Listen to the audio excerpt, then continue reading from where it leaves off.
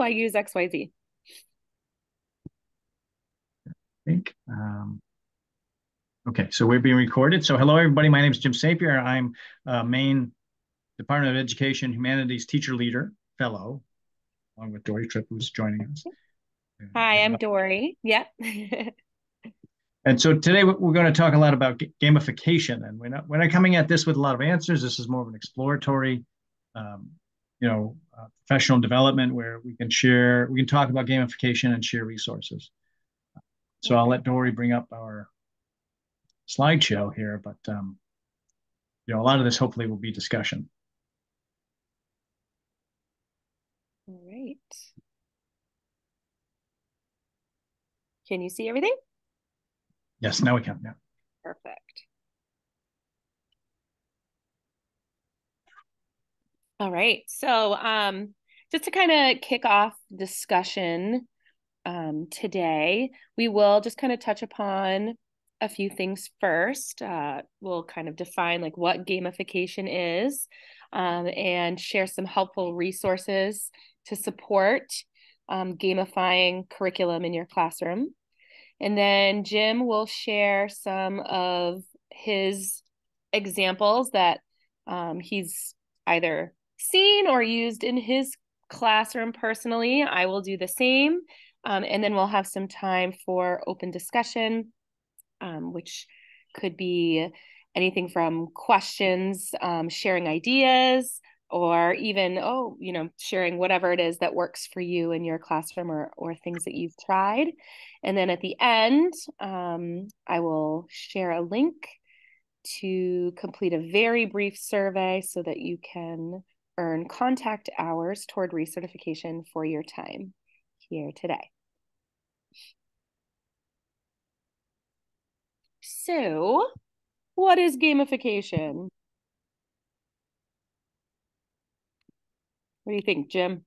So yeah, I um, I was trying to find a definition. This is sort of like AI, and then it's a sort of a whole new way to address how to educate. And um, so there's not a ton of resources, not a ton of answers for people, but I think we all recognize the benefits when we're dealing and we're not dealing when we're working with students who um, you know their attention spans are changing their you know their exposure to media is is more in one day than many of our grandparents had their entire lives and um, and so there's a couple of resources here that you might um, be able to draw on and finding answers about gamification. There's Edutopia, of course, is a great resource for a lot of practical approaches to education.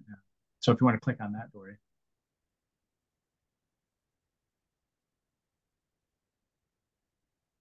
And talks about the benefits of this, and not the least of which I think is um, working uh, cooperatively, um, you know, using your imagination and oops, and um, um you know, uh, just actually being sort of um, you know involved both kinesthetically and intellectually in something. I we always played lots of games with my kids when they were little, and so they're able to maintain their focus.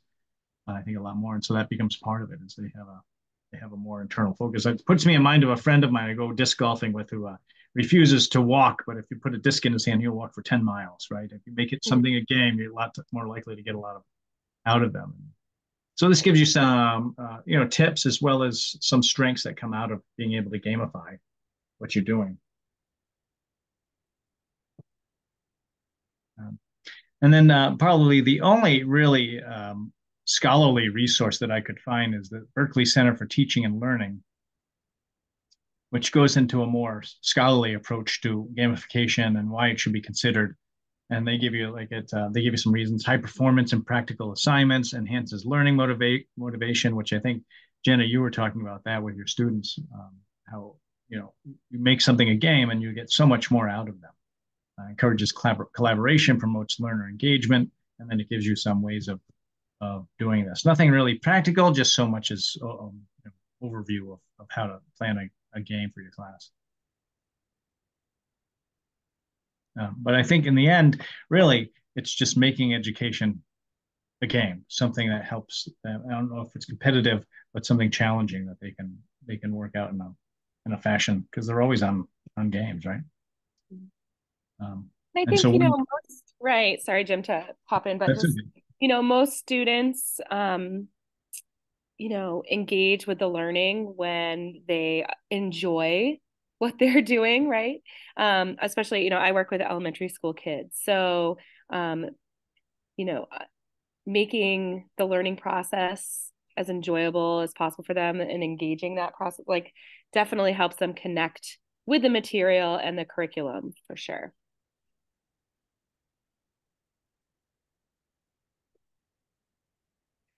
Right. So, some helpful resources. Jim, I think you curated a lot of these. Um, sure. I bet a lot of us have seen them. Yeah. yeah. So I, I, saw in some of yours you have Kahoot. So I'll let you talk about that when we get to yours because I haven't used it much, but I love book look it. And is that Jenna? Is that what you were using today with your students? Um, I think it's Blooket. And yes, um, uh, it it was Blooket, and I had never used it. Um, I'd always used Quizlet, and I do the individual and the live, and then Kahoot. But my students said, "Hey, can you try this?" And I did, and um, they showed me how to do it. It was a huge success. Um, my son was using this in his um, in his anatomy and physiology class, and uh, they loved it. It's competitive, right? They they try and answer the questions as quick as they can. The great thing is, from what I understand, is that I haven't actually used it. I've, I've only heard about it. Is that you don't have to make it up, right? They have banks of of uh, activities that you can draw from, and then the students can review them. And I and I think if you've already, it's either a Kahoot or a Quizlet, which mo- those are kind of the two standards.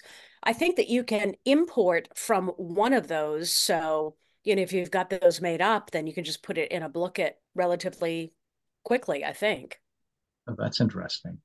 Nice. Um, and uh, I know uh, Padlet is really useful. I've used I've used just a minor aspect of it in organizing classes, but you can you can use that to make games. I'm just not as familiar with that that part of the gamification, but it does give you a forum where you can create activities for students to engage in, and they can actually contribute as well to Padlet as a, as a group. So you can do it as sort of a community project. Um, so these are the ones I'm mostly aware of that students use, and um, some of you may be able to speak to them. But the real question I have that I was hoping to, to talk about is how can you? A lot of these are for review, right? To bring ideas that we've already taught to them so they can review them. I want to know what is a good way of, of using or, or finding tools or gamifying in order to teach a concept. Mm. I don't know if anybody has any answers for that. Well, I think, you know, these in particular, um, I know Kahoot is that is the design of this particular game, right? Is is kind of like game show or review, you know, show what you know. But I mean, there are other types of games or other platforms that I think maybe work better for the teaching purpose than necessarily Kahoot, although I bet there are some really savvy people out there who have figured out how to use Kahoot as a teaching resource and not just an assessment tool. Um, but there are some other um, resources that we are going to share later that might be more applicable for the teaching and learning part than just assessment.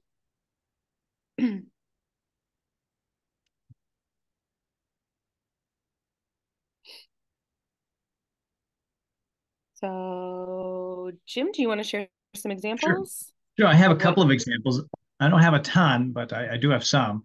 And so, um, we've recently, uh, uh a colleague and I have uh, created a, a cl- after school club for Dungeons and Dragons, and uh, it's really making um, some headway in a lot of schools. The whole role playing it, it, sort of came to the forefront after Stranger Things became popular. But it, you know, I played it as a kid, and it came out in the '70s and '80s, and so it's the original role playing game, right? And um, you know, it has so many strengths. You have to be imaginative. You have to work cooperatively. Um, you know, you've got to try and read through stats and understand all of the way things come together. Uh, it's really a comprehensive game. And I know that's a lot of teachers have started using it to teach, right? To have students work cooperatively uh, within classrooms in order to engage and teach concepts. And so it's it's not just for an after school activity, it's actually for um, in the classrooms. And um, I think there's some, yeah, there's quite a few resources here that you can draw from that are geared just for educators. Uh, and it's put out by the Dungeons and Dragons. So it's a little self-serving. Obviously, they want to promote their game within curriculum because that's a big market. But um, they have some really good, um, you know, activities and some ideas, and they they provide some good guidance on how to get a club started. Excuse me, how to get um, a license, what kind of books you need if you're unfamiliar with it.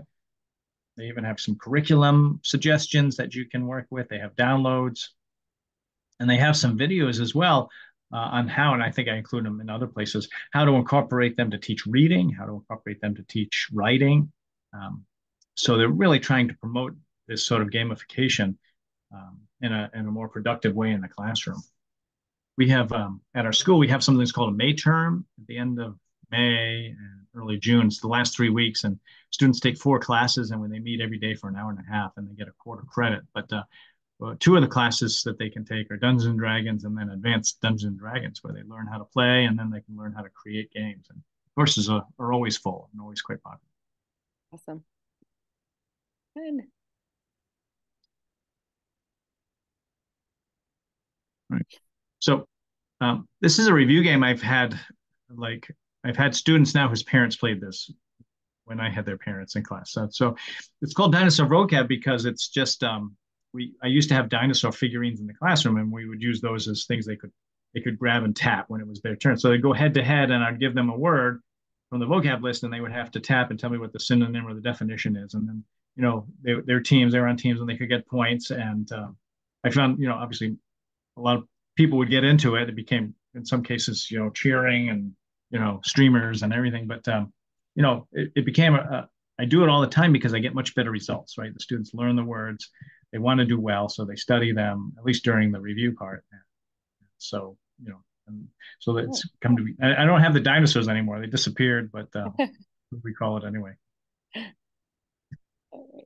Um, and so uh, here are some games. Some of these uh, I made up. Some I got from um, uh, Teachers Paid Teachers, the Escape Room. This is in my bio class, but I'm trying to adapt them for my English class, and I think the concepts are sound even so we straighten the ends.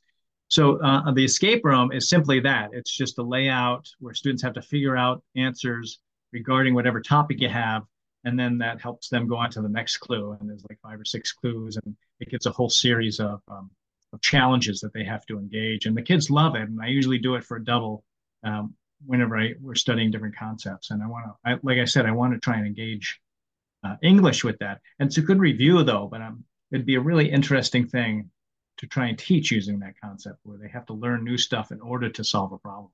Mm. The next one is the the Nancy game in the middle. Um, and um, if you, can you click on the the, the word above it? This I got from a comics website because I teach comics as well, um, both as a May term and as as part of a regular English class because um, it's a visual literacy unit that we do, and so we often use comics. Um, and so part of learning comics is understanding how the meaning comes from the way that panels transition to each other. And so this is a game where I took all these old Nancy comics, you may remember, and cut out panels, and then they have to use those in a card game that matches them and tries to um, satisfy the, the uh, type of transition. So they roll dice, find out what kind of transition they have to use, and then they, they use something from their hand to suit that requirement. And so uh, they get some crazy stories, but it helps them really understand the concept as well. Fun. And then this is the mitosis game. Actually, I have students working on this now. I've done this in English too. This happened to be just the document that I had available. And so they have to a series of different concepts they have to use and put into a game of their own fashioning. So next, it's next Wednesday. They're actually going to play them in class as a form of review, and then we can go through and assess whether or not they touch all of the different elements of meiosis and mitosis. And I've done this with English, some books that we've read. And one time students came in after hours, they got a hold of the janitor and they got in and they transformed my whole room into a game. And so the next day in class, we got to play the game by walking around and going from one, you know, like a Monopoly game, one place to the next and, and figuring out if we can move ahead. Um, and so, you know, that was really engaging and really interesting with students. But like I said, a lot of that's just re- it's not just it's a form of review versus um, teaching the concepts, which is really what I'm trying to trying to work with. Yeah, but I like the element of creation in there that students are are making something up rather than necessarily just playing a game. They're creating the game, and I think that's that's awesome. And they're really excited about it. And I think you know sometimes I will I will explain all these concepts, and I think I'm being crystal clear, and then you know I give them a test, and they have no idea what it's like. They never heard a word I said. Whereas in this, they're excited about it, and they're explaining concepts to each other so in essence, they are learning it, right? They have the notes from me, like being in the book, but uh, to to really take it into their understanding, this is a great works well. Awesome.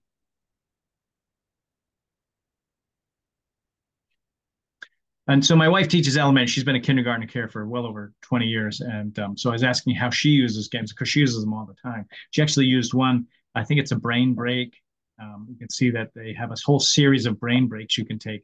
And it, it's, uh, you know, some of this is just movement, some of it's teaching, um, different concepts. But uh, she said they were just crazy. They just loved it. It was a Pokemon one. I don't know if this is it, but um, they have to run. So things are coming at them on the screen. They have to jump to the side. Um, and so on some, there's obviously different interactive levels. Uh, so sometimes they're actually learning a concept and, and the activities deal with that concept. I don't know if this will if this will come in. But, Wayfair um, helps all of us create a home we love. The Wayfair vibe at our place. Gotta love the. But we all got our own thing. Drama. Glamour.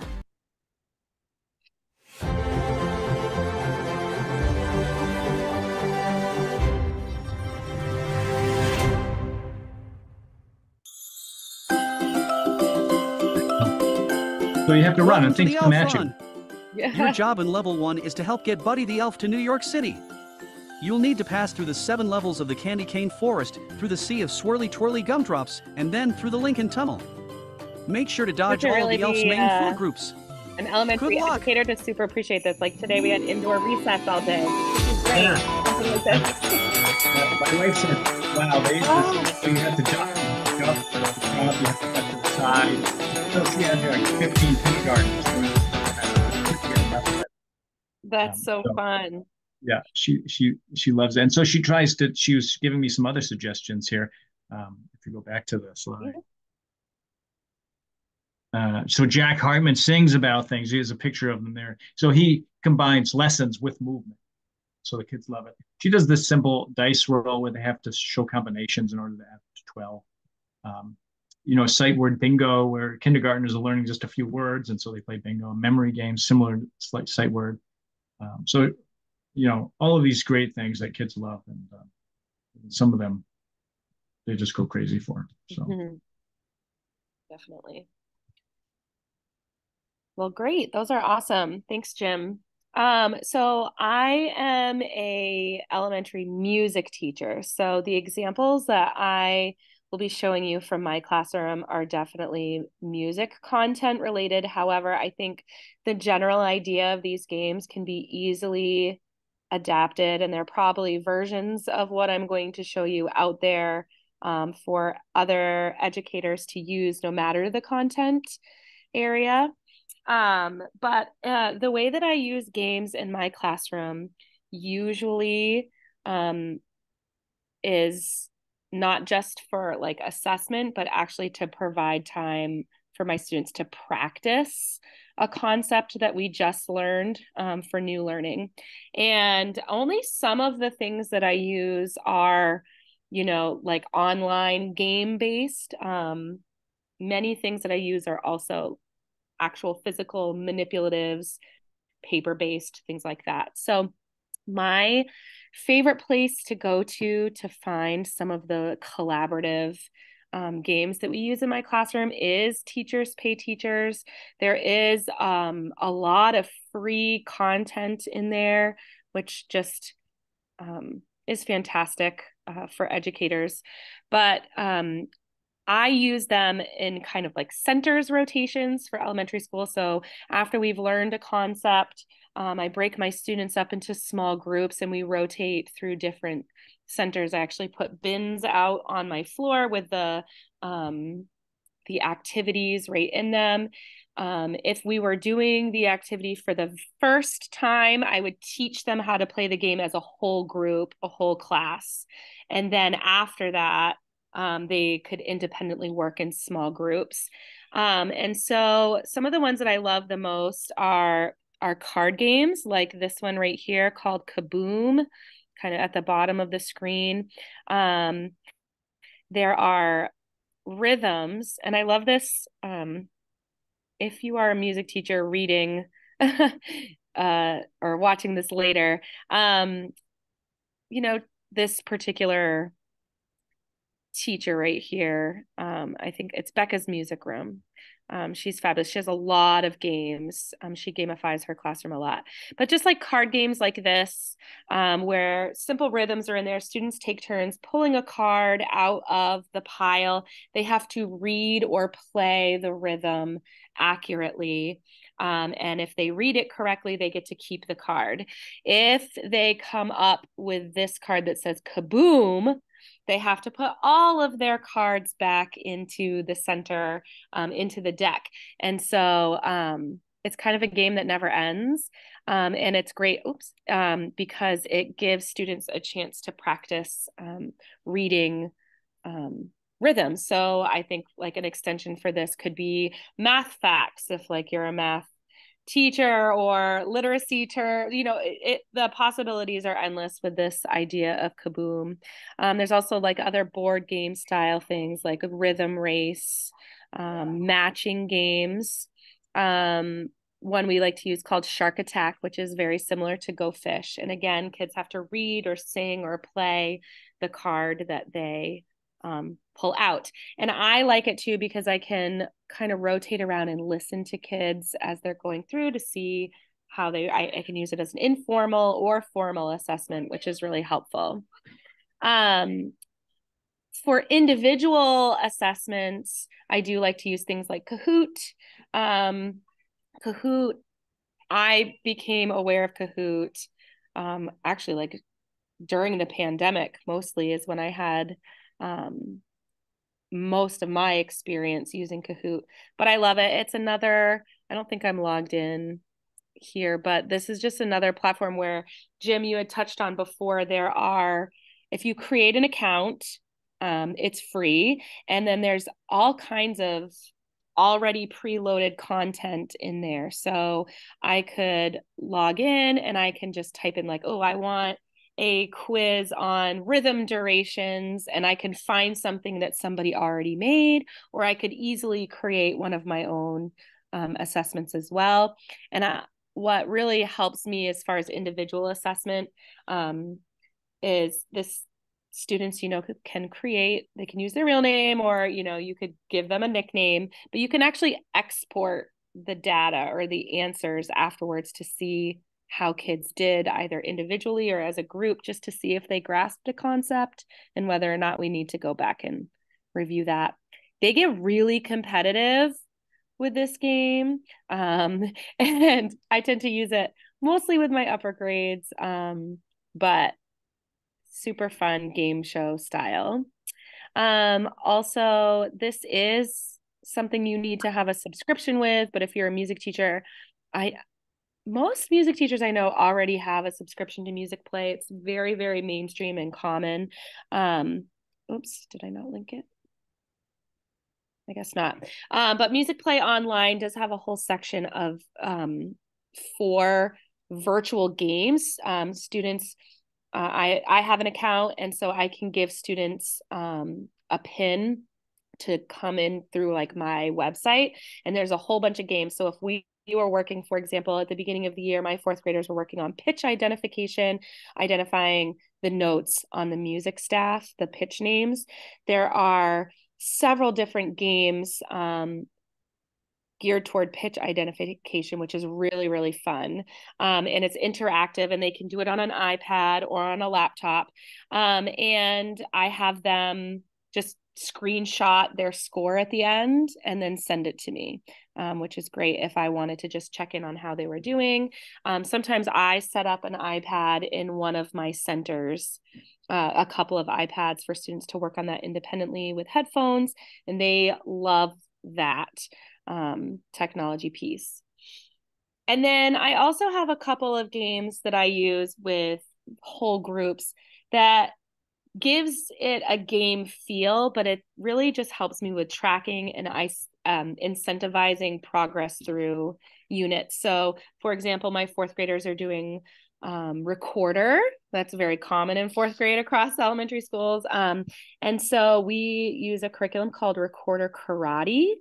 And um, it really is so motivating for them. Each song, it's leveled repertoire, and each song is linked up with a different color belt. So as they start to master the skills that they need um, to play these songs and they advance in the curriculum, they get like a little um I can actually grab one. Hold on.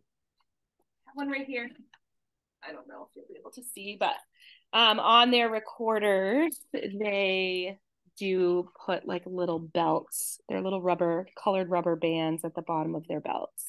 Um and that motivates a lot of students um, to even practice at home, which is great. They're making wonderful progress. And then last but not least, at the bottom right hand side of the screen, I um, my fifth graders in beginner band. We just started a game on my whiteboard called Bandyland, and uh, each um, each square, each section of my band, so like the clarinets, the flutes, the trumpets, the trombones, are working as a group to move across the game board and earn a set number of points by the end of the year before they had to um, middle school. And in each one of those blocks, this is one of those things, maybe, Jim, that you had touched upon using a game to help learn new content. Each one of those blocks has something new that they have to master or learn. Um, some of them, it's just, you know, showing excellent rehearsal behaviors you know as we lead up to a concert and then some of them are like oh you learning a new note or being able to play a concert b flat scale um, and so we work throughout until the end of the year. And this is just something I use to keep them motivated. Um, fifth graders sometimes tend to get a little bit of senioritis um, toward the end of the school year. And so this um, this keeps them motivated and competitive, and it works really well um, for me in my classroom. So those are just some examples of of what I use in my space. And again, I think any of these things could be modified not just specifically for music instruction but really for for any content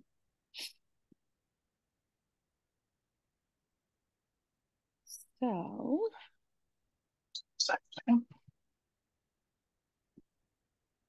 so i guess at this point should i stop sharing my screen jim for a minute so we can yeah, if we want to have an open discussion about exchanging ideas, sure. We have somebody new, Kelly Wallace. Thank you for coming, Kelly. I think you're able to talk. Um, I'm sorry if I don't know if you can hear. I've got an after school program outside my room right now. It's a little noisy. I don't know if you can hear all the the kids shouting. Um, so I, at this point, really, because gamification is such a new concept, does anybody have any resources or ideas they want to share?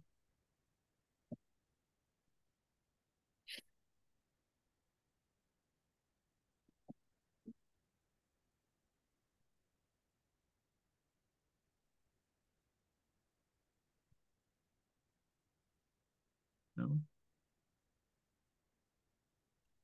I don't. I keep looking for more, right? And I keep trying to adapt um, what I know into my classes for gamification. But I don't also don't want to take away from, you know, the writing and the reading that I have to do as well. So, um, you know, it's a fine balance between because I don't want you know teachers aren't entertainers, although uh, you know it seems like we, are having to become that. But um, you know, there has to be a balance between you know substantive content and and gamification that's and they can probably be combined in some way. It's just figuring out how to do it. I think too, uh, you know, it has to be manageable. I don't know if this has ever happened to you, but you know, I have an idea and I'm like, oh, I want to try this with students. And then when you kind of get into it, it's like, this is really hard to maintain, or it's not, it's a little bit more involved than like what, you know, we have time for or energy mm-hmm. for. So it, there, you're right. There is a balance, um, trial by error, I guess. And it's also, you know, planning uh, this uh, to make it meaningful. Sometimes it takes a ton of planning, and, and for a teacher, that just just may not be enough time between all the other responsibilities that we have. Mm-hmm. I think that's a great point. That's why I kind of lean towards those probably overused, but still enjoyed uh, Quizlet and Kahoots and Blooket too, I think, because students, you can do it in class for like, you know, a do now, you can do it at the end. Uh, it's kind of like a fun assessment, quick check, or you can assign it so students do it as homework. And for some of my students who have um, a very clear aversion to homework, um, hmm. that somehow is palatable. So it just engages them with the vocab and concepts and holds them accountable for a little bit of work outside of class. And if I just do one of those Blooket, Quizlet, or Kahoot, then I can use it both in class, um, to engage, to assess, and also for homework. So I'm really looking for what's the biggest bang for your buck type of thing. Mm-hmm. Right. And one that we don't have to commit all of our time to, right? It's just trying to create. Yeah. And I, I think Blooket right now is the one that, uh, you know, a lot of my colleagues are using and they're recommending to me too, as I, I try to do more gamification. How did you said you used Blooket, uh, Jana? How did that go well with your students? it went very well and i had never used it before. My daughter who's a 10th grader um, says oh you should try it you should try it. And i'm like oh, i don't know. And so i said to my students okay we've got a new unit we're starting and what like what do you guys like? Um, and they're like you've got to do Blooket and so i did and then i'm like okay which you know you get a choice of which game and i give them the choice um, and uh they like that you know they're like no we want this game and i'll like well we'll do two as review today and we can do this and this and um it's actually more interactive than i realized but sometimes not in a great way. They can actually um you know do things that not only enhance their point value but but detract from someone else's and i'm like oh that's so mean and they're like no that's how it goes and i'm like okay all right i get it um mm. but yeah, it went really well, and I would not have done it if I I just said to them, you know, we need something different. We're getting a little flat on uh, the Kahoots and the Quizlets, and so they were um, good at suggesting something else. Great. I know um, my son is a sixth grader, and I don't. I've never used these particular things before, but he's come home. He's told me about his science teacher uses Minecraft for education on mm-hmm. occasion. Mm-hmm. So he you can actually have like free student accounts through there um, for his his science class and those are my son's like favorite days when they get to play in Minecraft. Um, so that's definitely one uh, that I know that's out there as well. And that's also I think kids buy into that because so many kids are playing Minecraft at home, a different version, I guess, but um, that's another one. Oh, Dorie, that's interesting because we're just the unit we're starting is the Industrial Revolution.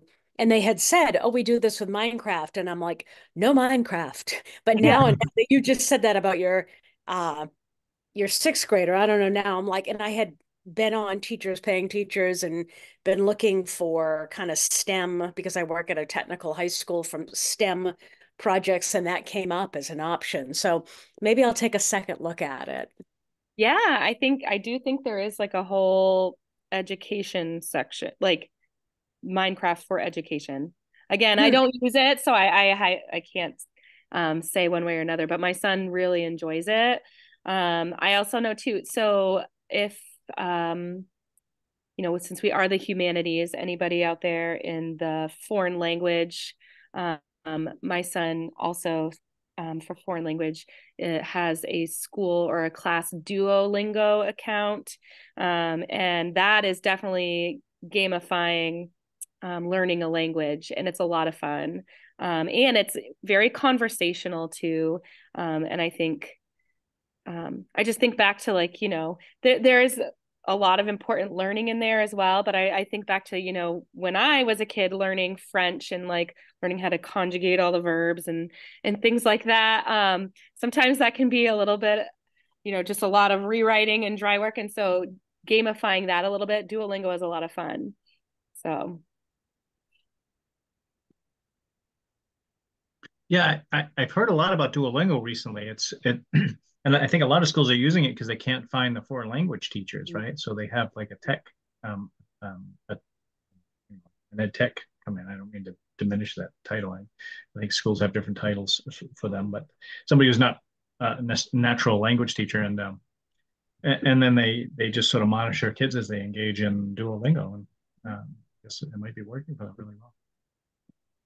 And, And- I think what people like about that too is it's like individual progress too. You Mhm. can kind of work at your own pace and you you are incentivized by winning like badges and and coins and things like that. So interesting.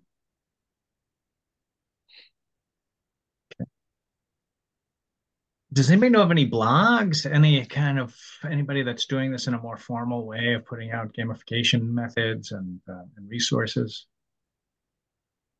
I really, I, I was looking for one for this presentation because, of course, we're all new to this, but uh, Mhm. maybe we should start one because I can't find any. James, I, I was thinking about that Nancy card game.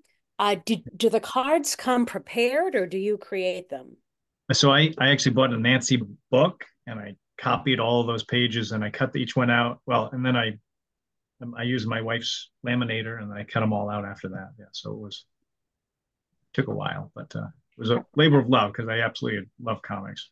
You know, I, I was wondering about doing something for history. Um, and I was thinking of like, you know, just having a bunch of different turning points of causes and effects, of um, kind of, you know, the creation of certain innovations and inventions that have changed history, and putting them on a card with a bubble, and then having students fill in the text uh, and or pictures, which would be kind of cool because many students are artistic or many students, but not maybe so good with literacy. Many students are great writers, but not with art. They could actually kind of pair up or do one part, and then we could create our own comic strips for, you know, I would say, okay, here are 20 turning point events in world history. Create a comic strip with four. And I don't know, at least then there'd be, I like it because it's, um, you know, it's it's sort of hands-on, it's artistic, and also is a good review. And and they're involved in the in the creation, which I think is really key, Yeah, is to get them to to put because they're more likely to remember it, right? If they put the time in. right. Right. I did want to show you um, something that remind if I, I'm going to share my screen here, if I can um, get back to the.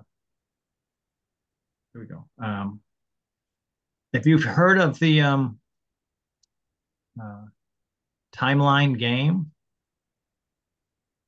I have not. so can you see the screen? Can you see this? I can. Yeah, it's a little tin. I got this um, because my brother-in-law actually gave it to me for Christmas a couple of years, and it's essentially a little tin that's full of cards throughout time for this period in time. And then somebody puts a card down, and then you have to put one down whether it goes before or after this date. And then you work down until it actually you get to points where it's like a couple of years, and it's hard for students to realize where they go within this this timeline. Mm. Oh, I love it. That's Yeah. fantastic. Yeah. Hmm. Cool. And so I've done that with my kids, right? It's and you know, it's I got I got all different kinds, right? So it might be inventions, and they have to put them in order of when they came, or uh, you know, architecture. So they have a lot of different events that you can. Anyway, that that was a really that'd be a really good tool for a, a civics class or a history class. Definitely. So, Great. but uh, that's pre-made, right? I think that it'd be more meaningful if you if you make your own cards, and then the students have to work with those. It might be good to uh, purchase it and just have them play it for a couple of weeks, and then they can make their own just so they could kind of have a template, but also do their own thing, own flavor to it. Right, right. And they would love it, I think. And my kids loved it. And they just they have sometimes they, they have these misconceptions in their head and they realize just how far off they are when they put them down like and the cards down in order. Yeah. That's great. All right. Any other thoughts? I just think that the possibilities are endless. I think initially when i first when we first started talking about, oh, let's, you know, dive in and look into gamification a little bit. At first thought for me, it was for some reason just like technology, like online games that your students could go on. But um, realizing like, oh, I actually do a lot of gamification already, not really realizing it until we dived right in. And it, it doesn't have to be with technology and it doesn't have to be with devices. I mean, and you know, some some of it can be so simple um, but just is enough for students to engage a little bit and and interact with the learning in a different way. Um, so that was encouraging. I love it when we look into a topic and i'm like oh did i do that? You know it's it's very um it's very validating and reassuring yeah i should be be interested years ago I, I would cut up an essay and then the students would have to recreate it and put it back together line by line and explain okay why do you think it goes in this order? So mm-hmm. i think that's a it's, it's, sort of coming into its own that sort of approach at this point. Mm-hmm. students are more engaged by it. Yeah. Well if you have nothing else um Jana, I did put um, the link to our Google form. It's just a very quick survey uh, to receive contact hours. If you fill that out, I will. We will send you a certificate for your time, and then I'm just going to share my screen one more time, Jim, just for our contact information. Um, if you think of anything else um, or have questions or would like us to include something, um, we'll have a section on our website um, about this that we can come back to, just kind of a hub for resources. Um, this is our contact information, as well as a link to our website. I'll actually right, click folks. on. Yeah. Um, I just real quick, just to show you where our website is within the DOE website. This is what our website looks like. So we do have a lot of resources in there, past newsletters, um, events coming up. So feel free to check that out. That's where all of this that we talked about today will be living after tonight. Awesome. Thank you guys so much. Have a great evening. Thank you, Jana. Thanks for joining us. All right. To stop the recording. Okay. So long, everyone. Thank you.